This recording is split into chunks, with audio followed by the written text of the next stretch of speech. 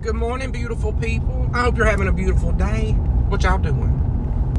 I'm headed to town. I had went by the post office because I thought I had a package because they put a slip in my thing that says you have a package and then I didn't have a package because it was like they had put the wrong people's mail in my mailbox and that's okay. And so, but I was just making sure that it wasn't my mail because I don't ever check my P.O. box and I didn't want somebody to have sent me something and then I didn't get it because then I would be sad that I did that.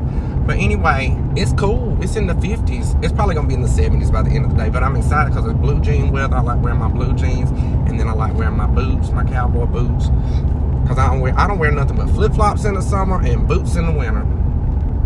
And now I'm headed to town. I'm going to get me some uh, some chicken feed. I gotta buy up all the animal feed because I'm going on a cruise Saturday. And so, you know, we have a house sitter, so they got to take care of the animals. So I got to make sure there's enough food there for the animals, so she don't have to go buy animal feed while I'm on the cruise. So I, that's what I'm going to do. Did y'all want to know that? I bet y'all didn't. But anyway, I just wanted to talk to y'all this morning and see what you was doing. I'm off of work today, so I'm in a wonderful mood. They started getting on my nerves this week, and um, about sick of.